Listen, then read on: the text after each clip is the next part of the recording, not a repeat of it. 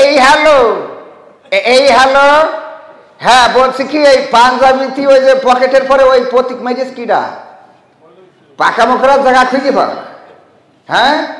মুসলমানদের ঘরে ঘরে ওই যে আমাকে দাদারাও ঢুকাই দিয়েছে। যারা ওই হিন্দুয়ারি সংস্কৃতি পছন্দ করে না, ওই স্টার জলসা সিনেমা দিয়ে সকাল সন্ধ্যে তাই চালাচ্ছে।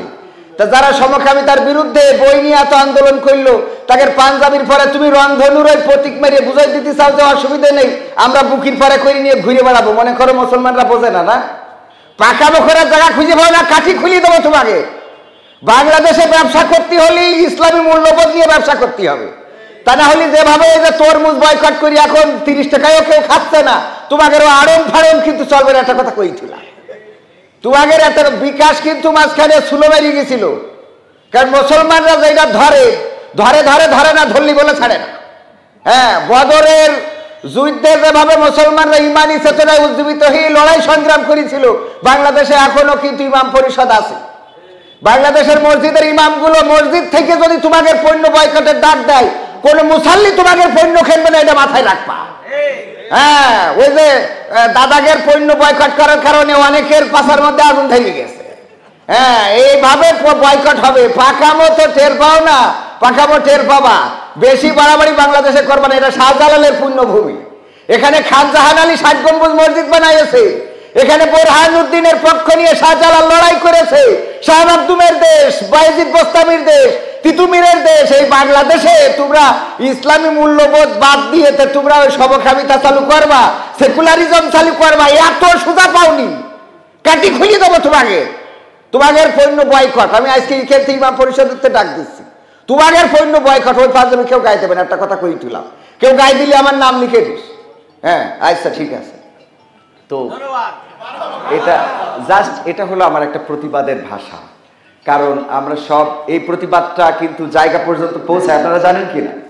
এটা জায়গা পর্যন্ত পৌঁছায়। আর তার জন্য মাঝে মাঝে সেই কথা না বলি। সব কথা বলা ঠিক না। খেলা হবে আগামীতে আবার। কি হবে বেঁচে থেকে? অযথা বিদ্যা শিখে যদি না গড়তে পারি শোষণবিহীন সমাজটাকে, কি হবে বেঁচে থেকে? কি হবে ছাত্র সেজে চুমু খেয়ে ছানদ খানা যদি হয় বিদ্যালয়টা পরিমণিদের আড্ডা খানা কি হবে ছাত্র সেজে চুমু খেয়ে ছানদ খানা যদি হয় বিদ্যালয়টা সমকামীদের আড্ডা খানা এর চেয়ে মরাই ভালো দেশ ছেড়ে যাওয়াই ভালো, এর চেয়ে মরাই ভালো দেশ ছেড়ে যাওয়াই ভালো। কি হবে ধোকা দিয়ে বিবেকটাকে, কি হবে বেঁচে থেকে? অযথা বিদ্যা শিখে যদি না গড়তে পারি শোষণবিহীন সমাজটাকে কি হবে বেঁচে থেকে? কি হবে যুবক নামের বোঝা হয়ে এই ধরাতে? যেখানে মা বোনেরা ধর্ষিতা হয় দিনে রাতে। কি হবে যুবক নামের বোঝা হয়ে এই ধরাতে? যেখানে মা বোনেরা ধর্ষিতা হয় দিনে রাতে, যৌবনের সার্থকতা ঘুচিবে সকল ব্যথা, যৌবনের সার্থকতা ঘুচিবে সকল ব্যথা। পার যদি বলি দিতে মানুষ রূপী পশুটাকে, পার যদি বলি দিতে মানুষ রূপী পশুটাকে, কি হবে বেঁচে থেকে? অযথা বিদ্যা শিখে যদি না গড়তে পারি শোষণবিহীন সমাজটাকে কি হবে বেঁচে থেকে? কি হবে লেখালেখি কলমবাজির ওই মহড়া? সমাজের আসল চিত্র যদি না যাই তুলে ধরা, কি হবে টিভি চ্যানেল সাংবাদিকের ওই ক্যামেরা?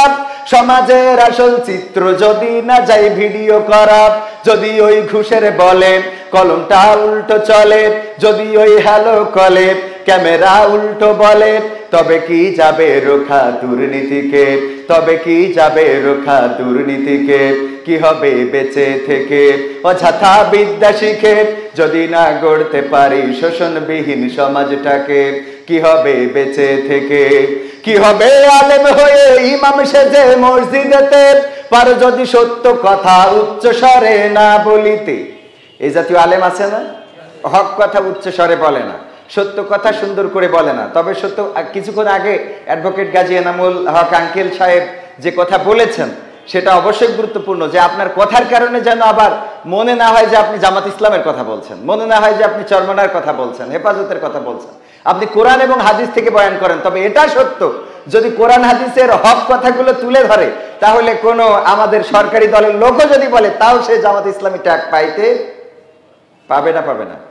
এই জন্য হক কথার সাথে মূল ধারার যারা সংগঠন করে, তাদের সাথে মিল আছে না নাই? আল্লাহ যেন আমাদের মূল ধারার সাথে থাকার তৌফিক দান করেন। কি হবে? আলেম হয়ে ইমাম সেজে মসজিদেতে পারে যদি সত্য কথা উচ্চ স্বরে না বলিতে চাকরির ভয় করো যদি, ছেড়ে দাও ইমামতি। কি হবে ধোকা দিয়ে আল্লাহকে?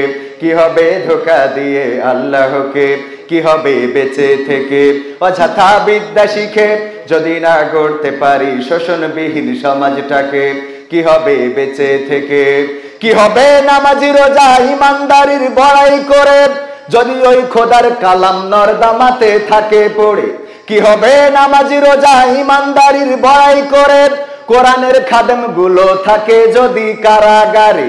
মসজিদের কোণে বসে জিকির যত করো কোষে। মসজিদের কোণে বসে তাজবি যত টানো ঠেসে এভাবে যায় না পাওয়া আল্লাহকে। এভাবে যায় না পাওয়া আল্লাহকে। কি হবে বেঁচে থেকে? অযথা বিদ্যা শিখে যদি না গড়তে পারি শোষণবিহীন সমাজটাকে, কি হবে বেঁচে থেকে? যাই হোক, লম্বা গান আর আর লম্বা না করি। একটু আমি যেহেতু বিনোদন কর্মী, আর ইফতারের টাইম এখনও অনেক বাকি। ইফতার আপনারা নিবেন এখন ঠিক আছে, কিন্তু টাইম তো অনেক বাকি। একটা মনে হয় ছোট্ট করে ফোন কল করলে সমস্যা হবে না। হ্যাঁ? রোজা থেকে ভালো লাগবে কিনা? যা, এখন তো দুপুর বেলা আমরা যদি ইফতার অনুষ্ঠানে এসেছি। একটা ইফতারের গান লিখে নিয়ে এসেছিলাম, কিন্তু ওটা আর শোনাবো না। একটা ফোন কল করা প্রয়োজনীয়তা দেখা দিয়েছে, সেটা হলো যে আমরা দেখতে পাচ্ছি পাঞ্জাবিতে একটা প্রতীক সেটে দেওয়া হচ্ছে। বিশেষ এক কোম্পানির পাঞ্জাবিতে। খেয়াল করেছেন কিনা আপনারা? খেয়াল করেছেন? এই প্রতীকটা হলো কাদের প্রতীক? বলতে পারবেন একজন? সমকামীদের প্রতীক। তো এই প্রতীক লাগিয়ে দিয়ে মানে আসলে ইমান বিধ্বংস করার জন্যে দেখবেন পাঞ্জাবিতে অনেক সময় অনেক ই এঁকে দেয় যে ক্যালিগ্রাফি, এমন কিছু যেটা আমাদের ধর্মের সাথে সামঞ্জস্য না, অন্য কোনো ধর্মের সাথে সামঞ্জস্য, চোখে পড়ে কি না? এগুলো কিন্তু সূক্ষ্ম একটা ষড়যন্ত্র। আপনার একটা স্ট্যাটাস দেখলাম যে একজন হিন্দু ধর্মাবলম্বী, অবলম্বী ভাই বলতেছে যে আমি আজকে মিষ্টি বানানোর সময় গরুর চুনা, আমাদের দেবীর চুনা কিছু দিয়ে দিয়েছি, মুসলমানদের এভাবেই মিষ্টি দিয়ে খাওয়াবো। নওয়াজবিল্লা বলবেন না? এ জাতীয় ষড়যন্ত্র আপনাকে হারাম খাওয়াতে পারলে আপনার ইমান ধ্বংস করা সম্ভব। কারণ যদি হারাম কিছু শরীরে প্রবেশ করে, দোয়া কবুল হয় না। কবুল হয়? বদরের আজকে সতেরোতম রমজান, যেটা বদর দিবস হিসাবে আমরা পালন করে থাকি। এই বদরের দিনে মাত্র তিন শত তেরো জন যুদ্ধ করে বিজয় অর্জন করেছিলেন, এক হাজার জনের বিরুদ্ধে। আমি আজকে তথ্যটা, আজকে আমাদের কুইজ হবে একটা। যদি সম্ভব হয়, মুহতারামের সাতক্ষীরার শ্যামনগরে করার চেষ্টা করব, জায়নামাজ বিতরণ করব কুইজে। তো বদর দিবস নিয়েই কুইজটা সাজিয়েছি। সেখানে দেখলাম মুসলমানদের সশস্ত্র যোদ্ধা ছিল মাত্র আটটা তরবারি ছিল। কয়টা? অপর পক্ষে কাফেরদের ছিল ছয় শত সশস্ত্র যোদ্ধা। মুসলমানদের উঠ ছিল মাত্র সত্তরটা, আর তাদের ছিল সাত শত। মুসলমানদের ঘোড়া ছিল অল্প কয়েকটা, আর তাদের ছিল কতটা ছিল? ঘোড়া ছিল মুসলমানদের একশো না সম্ভবত ষাটটা মনে হয়। দুইটা থাকতে পারে। হ্যাঁ আমি ওই এটা ঠিক আছে। দুই দুইটা। আসলে মুসলমানদের ঘোড়া ছিল, আমি তথ্যটা আছে হ্যাঁ মুসলমানদের ঘোড়া ছিল দুইটা, আর কাফেরদের ছিল তিন শতটা। কাফেরদের ছিল তিন শতটা। তারপরে তাহিদের পক্ষে তো বলেছি যে তিন শত তেরো জন ছিল। তো এই যে অল্প কয়জনের মাত্র শহীদ হয়েছিল আমাদের চোদ্দ জন, তাও স্পটে তিনজন আর একজন যাওয়ার পথে পথি মধ্যে শহীদ হয়েছিলেন। আর অপর পক্ষে ওরা নিহত হয়েছিল কত? সত্তর জন এবং বন্দী হয়েছিল সত্তর জন, এটা ইমান দিয়ে হয়েছিল। এই বিজয় অর্জন আমরা এটা থেকে শিক্ষা নিতে পারি। সুতরাং আমরা বদরের মতো, বদরের যে ইমান ছিল, সেই ইমানে উজ্জীবিত হতে হবে। তাহলে বাতিলেরা সংখ্যাধিক্য দিয়ে বিজয় অর্জন করবে না। এই বাংলার জমিনে ইখতিয়ার বিন বখতিয়ার যেভাবে ভারত উপমহাদেশে ইসলামের পতাকাকে উড়িয়েছিলেন, সেভাবে শুধুমাত্র বাংলাদেশের যতগুলো মসজিদ আছে, মসজিদের ইমামগুলো যদি কালেমার ঝান্ডা নিয়ে রাজপথে থাকতে পারে, কালেমার পতাকা উঠতে বেশি দিন সময় লাগবে না, ইনশাআল্লাহ। সেই ইমান আমাদের অর্জন করা লাগবে। কিন্তু আমাদের যে ইমান এটা তো আমিও আমিও অনেক দুর্বল। আল্লাহ যেন আমাকে সবল করে দেন, বলেন আমি তো আমি একটা ফোন কল করছি তাদের কাছে, যারা মুসলমানদের ইমান বিধ্বংস করতে চায়। এটা করলে তার অসুবিধা নেই। আর আমি তো মাঝে মাঝে যে কথাগুলো বলি, সেগুলো একেবারে খারাপও বলি না। যেমন ধরেন মাঝখানে বলল বড়ই দিয়ে ইফতার করার জন্য। তো তখন আমি বলেছি যে বড়ই দিয়ে কেন ইফতার করবে? বাংলাদেশ তো আর এত গরিব হয় নাই। এত উন্নয়ন যেখানে সেখানে বড়ই খেতে হবে কেন? নাকি? সেখানে বড়ই খাওয়ার করে দরকার আছে?